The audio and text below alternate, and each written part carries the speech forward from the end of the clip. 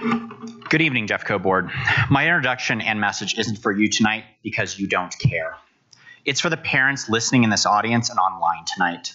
To the Jeffco parents, my name is Joe. I'm a director of the LGB and NT nonprofit organization Gays Against Groomers. I, like you, live here in Jefferson County with my husband and our son.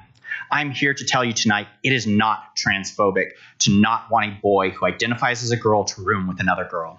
It is not transphobic to not allow a boy to play on the girls' soccer team or change in the girls' locker room. Your concerns are valid and warranted.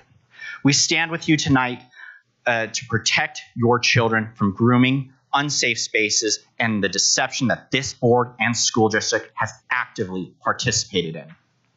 We support your fight to amend JBR 1 so that these rules are amended so that separate, safe spaces are provided for all children.